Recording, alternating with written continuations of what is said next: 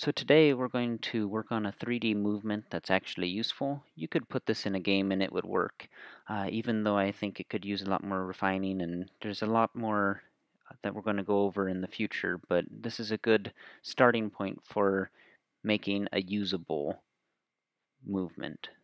So looking at the script, we first off have a turn speed because I just wanted to have a different turn speed than what the movement speed was.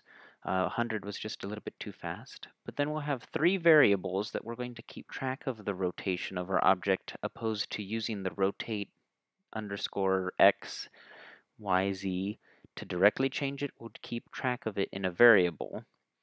And in the get input, we're just going to add and subtract the turn speed multiplied by the delta to the proper rotation that we are pressing.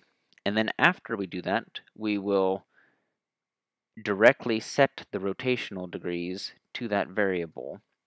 And this translate uh, is just to keep the ship moving forward at all times. Now there's a whole bunch of stuff commented out, and we'll get to that in just a second, but I want to show you what this looks like in itself, because it's not the same as the video I showed at the beginning.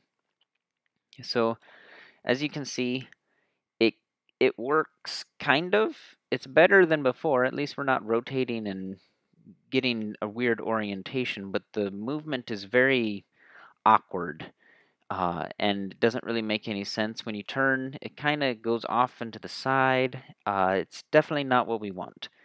And so there's a quick and easy fix. I can't explain exactly what's going on, but I just made a variable. Well, first I made a just an extra spatial node here and called it movement guide and I didn't do anything with it. I just needed as a reference.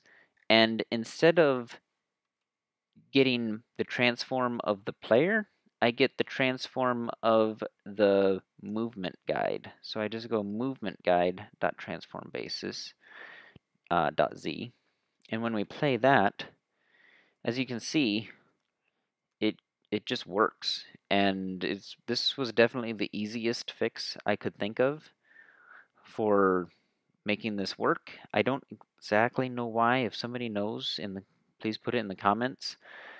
Um, but if you remember from the first video, there were a few extra things I added to the ship just to give it a little bit more of a feel and give more player feedback of what direction you're actually going.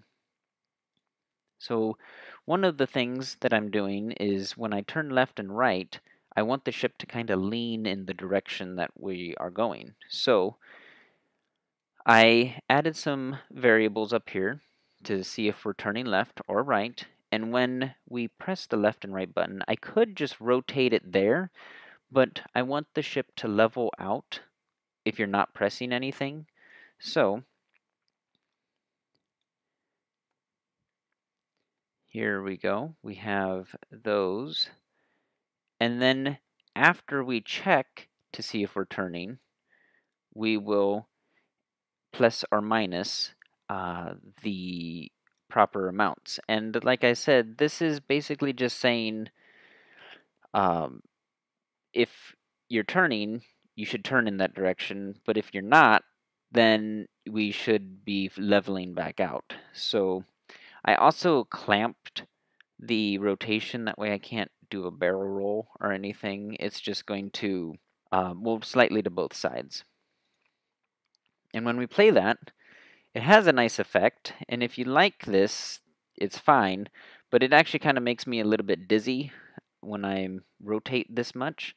So I added a quick little line here also. Basically, I'm going to rotate the camera in the opposite direction that I'm rotating the ship. That way it stays in the same spot.